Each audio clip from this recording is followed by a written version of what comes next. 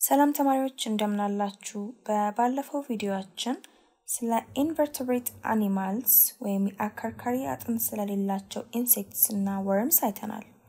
በዛሬው ቪዲዮአችን ደግሞ ስለ vertebrate animals ወይም የአከርካሪ አጥንት ስላላቸው እንስሳት እንመለከታለን።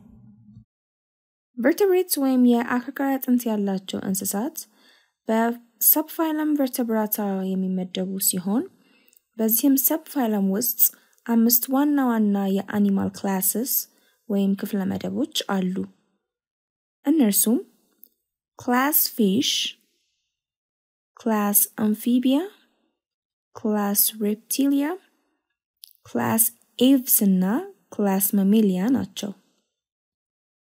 እስቲ እነዚህን classes አንድ በአንድ ከነምሳሌያቸውና ባህሪያቸው እንመልከት። class fish በዚህ ክፍለ መደብ የሚገኙት የተለያዩ እንደ አሳ የመሳሰሉ እንስሳዎች ናቸው። የጋራ ባህሪያቶቻቸውም they are poikilothermic or cold-blooded animals ወይም ደመ ቀዝቃዛ እንስሳዎች ናቸው። ማለትም የውስጥ የሙቀት መጠናቸው እንደ የአካባቢው አየር ጸባይ ይቀያየራል ማለት ነው። ሌላው they do have smooth wet scales on skin ለስላሳ የሆነ የቆዳ ቅርፊት ሲኖራቸው they do have also streamlined shape ወይም ከመሃል ሰፋ ያለና ከራሳቸውና ጫፋቸው ላይ ጠበብ ያለ ቅርጽ አላቸው። የሚኖሩትም በ aquatic environment ወይም በውሃማ አካባቢ ውስጥ ስለሆነ streamlined ቅርጽ መኖሩ በውሃ ውስጥ ለመዋኘት friction ን ወይም ፍትጊያን ስለሚቀንስ ቀላል ያደርግላቸዋል። የሚተነፍሱበት gill ወይም ሳንባ ስንጥብ የሚባል structure ወይም መዋቅር ሲኖራቸው balance አቸውን የሚጠብቁበትም fins ወይም ክንፈ አሳ አላቸው። የሚራቡትም በ sexual reproduction ወይም በጾታዊ መራቦ ሂደት ሲሆን የ fertilization ኡ type ወይም የጽንሰቱ አይነት external fertilization ወይም ውጫዊ ጽንሰት ነው። external fertilization ወይም ውጫዊ ጽንሰት የምንለው ሴቷ አሳ የምትለቀው እንቁላል ወንዱ አሳ ከሚለቀው የወንዴ ዘር ጋር ተዋህዶ ጽንሰት ከሴቷ አካል ውጪ ሲፈጠር ነው። class amphibia በዚህ ክፍለ መደብ ውስጥ ያሉት እንደ frogs ወይም እንቁራሪት የመሰሉ amphibians ናቸው። amphibia የሚለው ቃል two lives ሲሆን እነዚህ እንስሳት የተወሰነ የዕድሜ ደረጃቸውን በውሃ ውስጥ እንዲሁም የተወሰነ ዕድሜ ደረጃቸውን ደግሞ በምድር ላይ እንደሚኖሩ ያመለክተናል። amphibians poikilothermic ወይም ደመ ቀዝቃዛ ሲሆኑ they do have lungs and moist skins with a good supply of ሳምባና ረጠብ ያለ ቆዳ ከደና የ capillaries የደም ስሮች ጋር ስላላቸው የሚተነፍሱት በእነዚህ አካላቶቻቸው ነው። እንደ frogs ያሉ amphibians አራት እግሮች አሏቸው። የኋለኞቹ እግሮቻቸው webbed ናቸው። ማለትም የእግሮቻቸው ጣቶች በቆዳ የተያያዙ በመሆናቸው በውሃ ውስጥ በቀላሉ ለመዋኘት ያስችላቸዋል።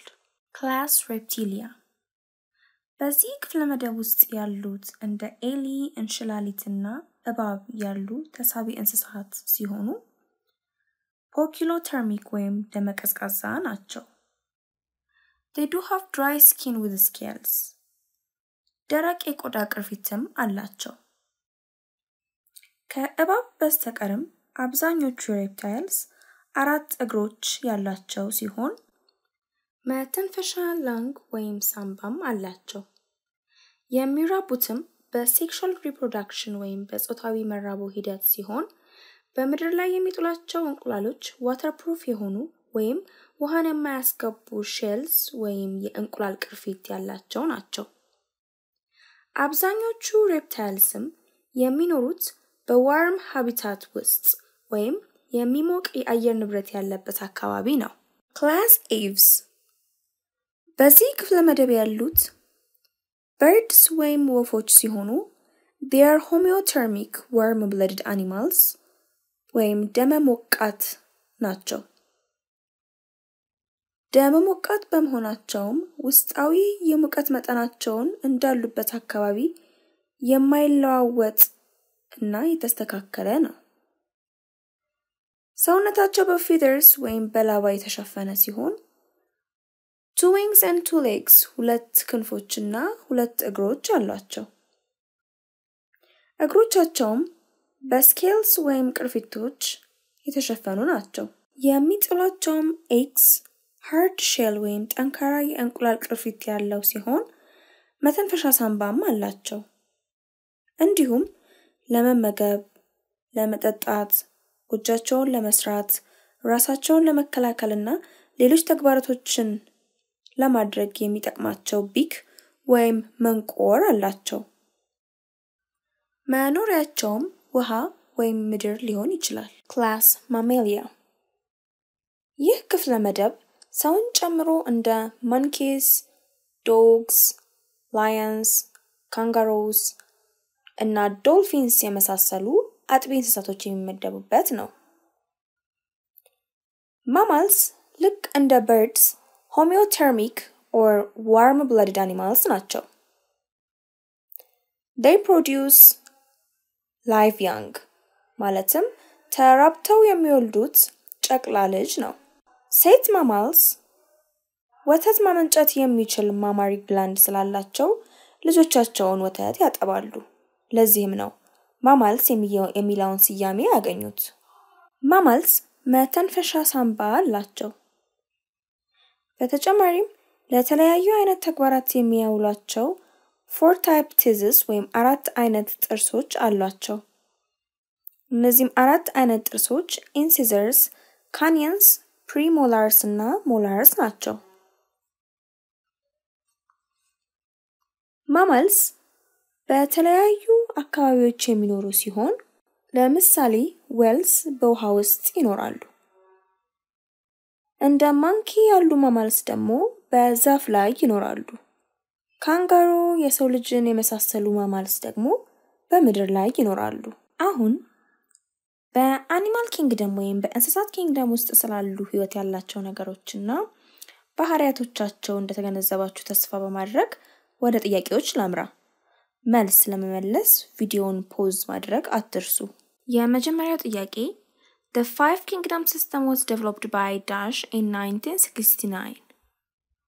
የአምስቱ kingdom ስርዓትን ለመጀመሪያ ጊዜ ያደራጀው ሳይንቲስት Dash በ1969 ዓመተ ምህረት ነው። መልሱ ሮበርት ኤች ዊቲከር ነው። ሁለተኛ ጥያቄ Mention the five major kingdoms አምስቱን ዋና ዋና kingdom ኦች ዘርዝር። መልሱ Kingdom Animalia፣ Kingdom Plantae፣ Kingdom Fungi፣ Kingdom Protista እና Kingdom Monera or Bacteria ናቸው። ሶስተኛ ጥያቄ The Dash form a very large class of arthropods and are among the most highly adapted of all animal species. Dash ትልቁን የ arthropods ክፍለ መደብ የሚይዙ ሲሆኑ ከሁሉም የእንስሳት አይነቶች በበለጠ ሁኔታ የተለያዩ የአየር ጠባዮችን ተላምደው መኖር ይችላሉ። መልሱ insects ወይም ነፍሳት ናቸው። አራተኛ ጥያቄ What is the difference between poikilothermic and homeothermic animals? poikilothermic እና homeothermic እንስሶች ያላቸው ልዩነት ምንድን ነው?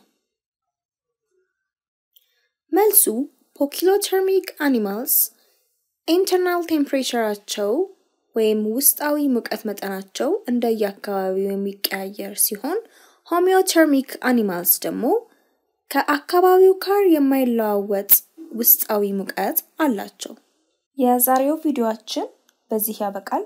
የሳቋማ ዩቲዩብ ቻናላችንን like፣ share፣ subscribe ማድረግ አትርሱ። በ description ውስጥ ያለውን link በመጫን በሳቋማ website ላይ በመሄድ ተጨማሪ ጥያቄዎችን መስራት ትችላላችሁ። በሚቀጥለው ቪዲዮ እስከምንገናኝ ድረስ ሰላም ሰንብቱ።